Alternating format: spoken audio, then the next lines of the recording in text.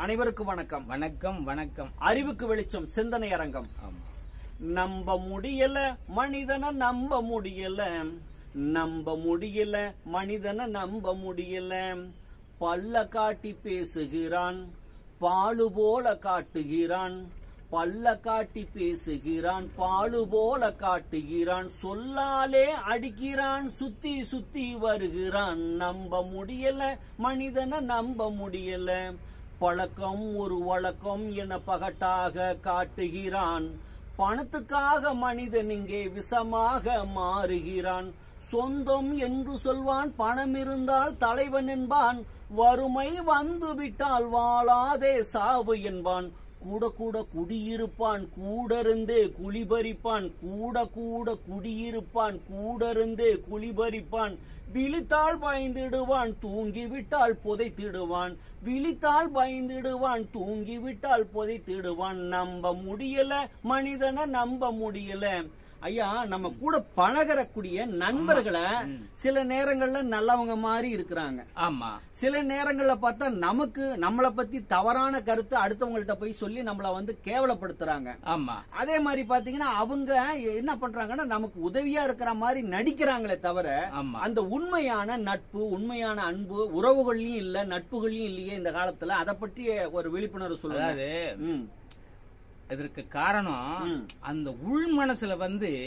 அவங்களுக்கு சுயநலம் இருக்குது சுயநலம் அதிகமா இருக்குது ஆமா ஆமா அவ நம்ம வந்து எல்லாமே வெள்ளந்தியா நினைச்சு பாக்குறப்ப ஆமா அந்த சுயநலவாதி அதான் அருமையா சொல்லுவாங்களே ம். நம்ம தோல் மீது கை போடுவான்.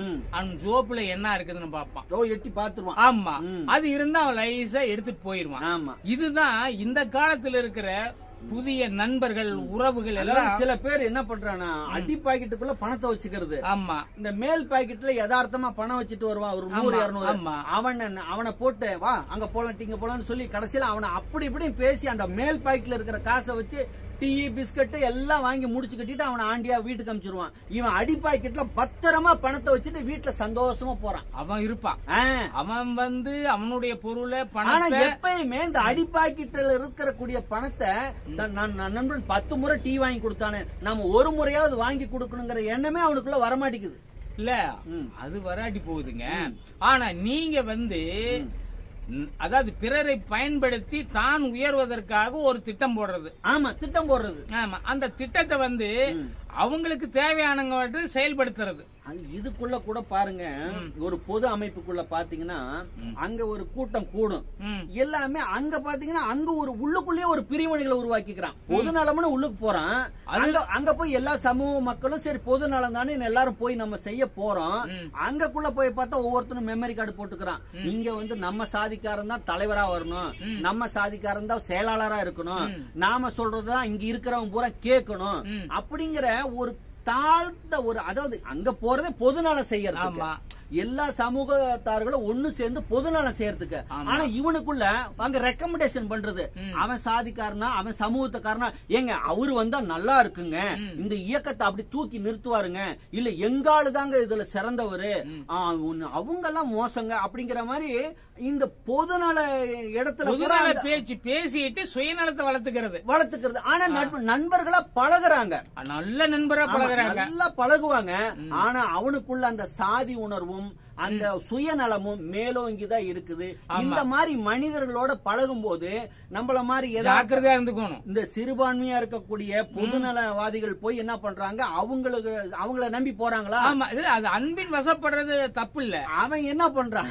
இவனுங்களை வளரவே விடுறது இல்ல ஆமா ஏன்னா இவனுங்களை கீழேயே வச்சுட்டு இந்த பெரும்பான்மையா இருக்கக்கூடியவங்க மட்டும் இவனுங்களுக்குள்ளேயே ஒரு டீம் போட்டு பேசி வளர்ந்துட்டு கடைசியில அவன- அவனை வந்து எந்த ஒரு பொறுப்புக்கும் கொண்டுட்டு வராம அவன் அப்படியே பொறுப்புக்கு வந்தாலும் அவனை குற்றம் சொல்லி அவனை வந்து வெளியேற்றிட்டு அதை ஆக்கிரமிப்பு பண்ணிட்டு திரும்பவும் அந்த சாதி அமைப்பு அந்த அந்த சுயநலம் தான் மேலோங்கி இருக்குதுங்கிற அந்த? பொதுநலமே இல்லாம இருக்குது. எல்லாத்துக்குமே சுயநலம் தாங்க. அதாவது நீங்க எந்த ஒரு அமைப்பும் பாருங்க.